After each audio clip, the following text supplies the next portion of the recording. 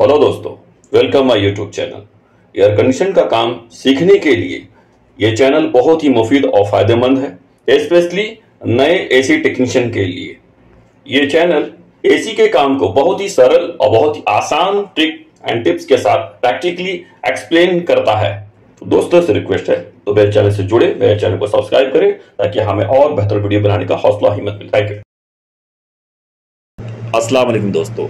Welcome my YouTube channel H V A C Amjad बड़ा useful video है specially नए लड़कों के लिए, नए एसी टेक्नीशियन के लिए। एक साइट में कंप्लेन था कि रूम ठंडा नहीं हो रहा है। जैसा रूम ठंडा होना चाहिए, नहीं ठंडा हो रहा है। रूम टेम्परेचर 24-25 पे आके रुक जा रहा है। तो जब साइट पे विज़िट किए हैं चेक कर रहे हैं, और यहाँ पर गौर करो, जो सेक्शन प्रेशर है, वो 105 है 100 105 के बीच में। तो हम लोग यहाँ पर अभी जो हाई साइड का प्रेशर गेज का इस्तेमाल कर रहे हैं ब्लू वाला इस्तेमाल नहीं कर रहे रेड वाला कर रहे हैं, क्योंकि लो लो साइड में थोड़ा कुछ प्रॉब्लम है, इसीलिए हम लोग हाई साइड का इस्तेमाल कर रहे हैं। तो जब सेक्शन प्रेशर चेक कर रहे हो तो हंड्रेड टू एक है। तो गैस कम होने का मतलब है कि जब भी कभी गैस अब इसमें गैस को टॉप अप करना पड़ेगा गैस को रिफिलिंग करना पड़ेगा। जब भी गैस कभी रिफिलिंग करेंगे तो उसमें कुछ चीज़ों को बेसिक बातों को जानना चाहिए।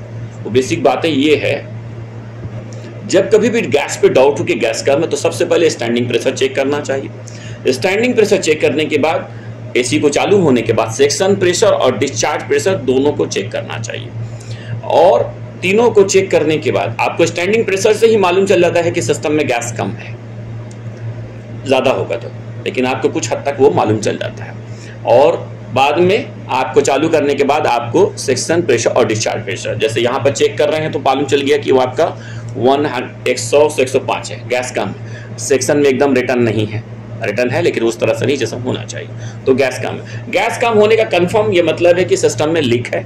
लीक वहाँ से वही कैप के पास माइनर से लीक था, वो कैप को फुली टाइट नहीं किया है। जिस टेक्नीशियन ने भी पहले काम किया फुली टाइट नहीं किया। तो उसको टाइट करके उसको ये कर लेना चाहिए। तो कभी भी जब लीक हो डाउट हो तो सबसे पहले स्टैंडिंग प्रेशर सेक्शन प्रेशर और डिस्चार्ज का प्रेशर चेक करना चाहिए।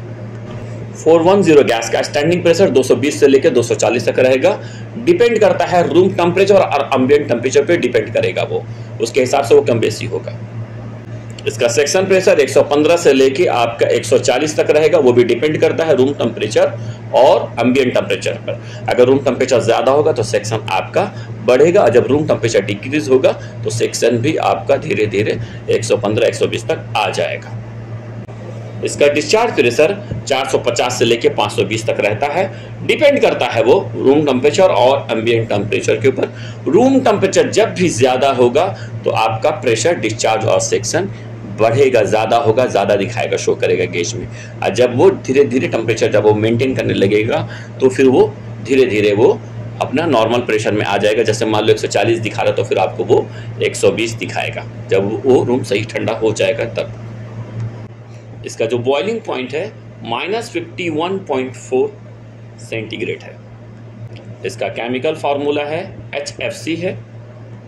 फोर वन ज़ीरो जो गैस है, वो दो गैस को मिला के बनाया गया है। तो उसमें जो है, वो आपका आर थर्टी टू है और वन ट्वेंटी फाइव है। ये दोनों गैस को मिला के आपका फोर वन ज़ीरो बनाया गया है।